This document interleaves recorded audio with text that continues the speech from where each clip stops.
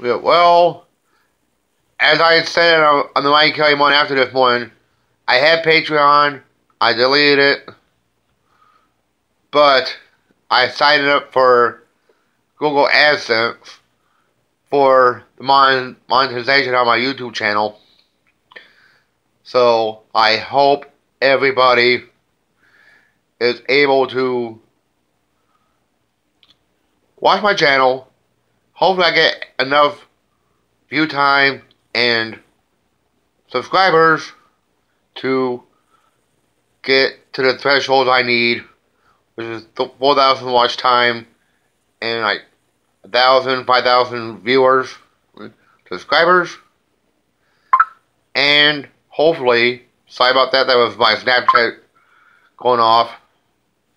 Anyway, if I get enough subscribers enough watch time, I'm thinking it's a combination of me and all my all the viewers to my channel.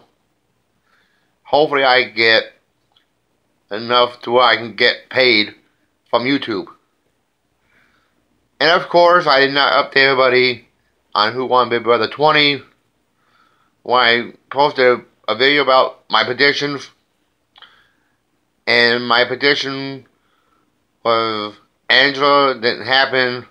It was Kaycee, And hopefully, knock on wood, they have it.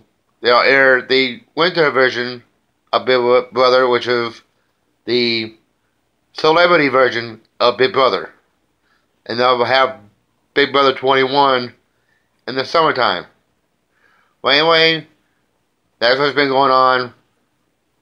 Hopefully, I'll have more videos coming up soon. I'll talk to you guys later.